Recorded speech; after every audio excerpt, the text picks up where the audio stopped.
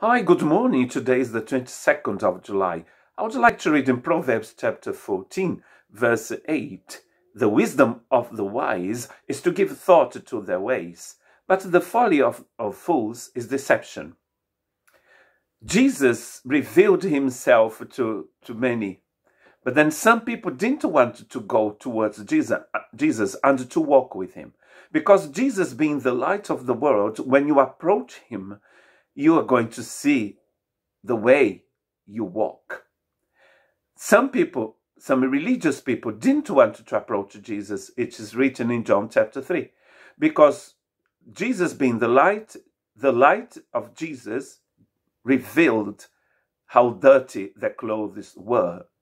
And then, uh, because religion cannot cleanse you, so they didn't want to approach light and then they just they were deceived by their their lack of wisdom. And sometimes people walk in ways that they know is going to lead them to death. But they don't want to turn back and walk with jesus. And they prefer to re- to keep on walking in in in a way of death and of darkness as well so the wise, the wisdom of the wise person is to give thought to their ways, to ask God to show them how to walk. To walk with Jesus is the best thing to do. That's why Jesus says, I am the way. He is the life, He's the, the truth, but He is also the way. It's very safe to walk with Him because we have no idea whatsoever of what is waiting for us in the future. You don't know what's going to happen to you tomorrow. As you walk, you have no idea where you are going. But Jesus can see all, He knows all. So it's much safer to ask Him to guide us in this life. So we will be walking with Him.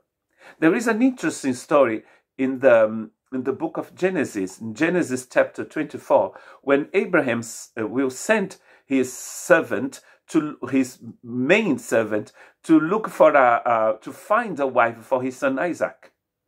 And in some versions in Portuguese, they, they say that this man was from Damascus. And the person that comes from Damascus is called in Portuguese the Damasceno. So that was my ancestor going to find a wife for Rebecca. Then he prayed, the servant prayed, Lord God of my master Abraham, Make me successful today and show kindness to, to my master Abraham. Imagine going to a country like uh, Iraq today, Iraq, to find a, um, a, a woman to marry Isaac, who was living in Canaan. And that wife has to be from Abraham's family. Can you imagine? It's in mission impossible. It is impossible. That's why he's going to, he's praying uh, God that God is going to show him the way to go. He's thirsty because that's a very dry land. And then he's going to arrive at this village, going to arrive at this well. And guess what? That's where Abraham family went to for water. That's the well where this young lady called Rebecca used to go to fetch water. God guided that man on the way he should walk, on the way he should go. And that's why he's going to worship God and thank God for what God had done for him.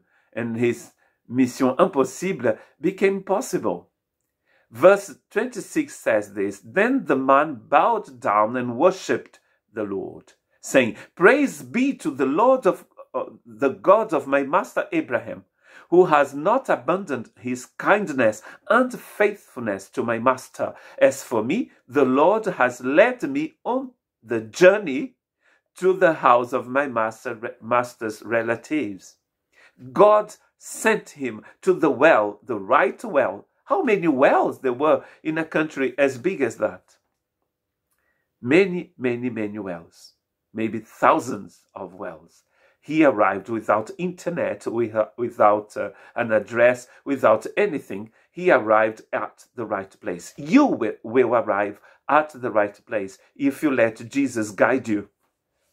We keep on saying that righteousness is the way God walks. God walks in righteousness. What about you? God bless you.